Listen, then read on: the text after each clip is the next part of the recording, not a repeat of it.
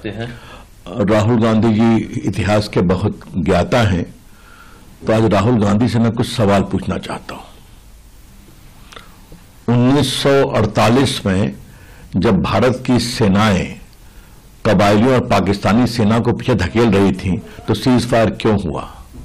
जबकि सेना का चाहती थी कि हम पाक ऑक्युपाइड कश्मीर को भी दोबारा ले लें।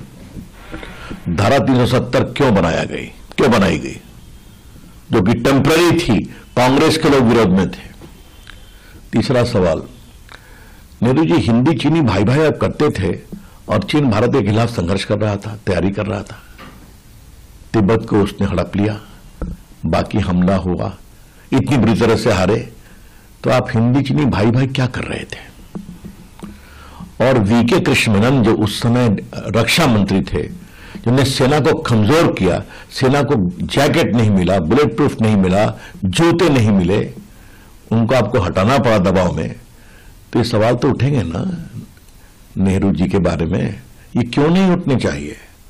और उससे राहुल गांधी जो उनके परपोता हैं, उनको परेशानी होती है, लेकिन ये इतिहास की सच्चाई है। और सबसे बड़ी सच्चाई यह है, साढ़े पाँच सौ जो रियासतें थीं। उसमें एक को छोड़कर बाकी ने सरदार पटेल ने हैंडल किया। वहाँ कोई समस्या नहीं है। यहाँ एक नेहरू जी ने किया, आज तक समस्या झेले, जो 2019 में समाप्त हुई। तो ये बड़े सवाल हैं। ये सवाल हम उठाएँगे और इस उठा, सवालों से राहुल गांधी भागते हैं तो इसलिए इस तरह की बातें कहते हैं। हमारे सम्मानीय गृहमंत्री अमित शाह जी को इतिहास की पूरी जानकारी है। और हम लोग स्वयं उनसे बहुत कुछ सीखते हैं। इसलिए इस तरह की बात नहीं कहनी चाहिए राहुल गांधी जी। वैसे आपके ज्ञान के बारे में बहुत चर्चा होती है देश में, उसके आगे नहीं कुछ कहना मुझे। अमर उजाला, अब आपके टीवी पर भी। अपने स्मार्ट टीवी पर यूट्यूब पर सर्च करें अमर उजाला।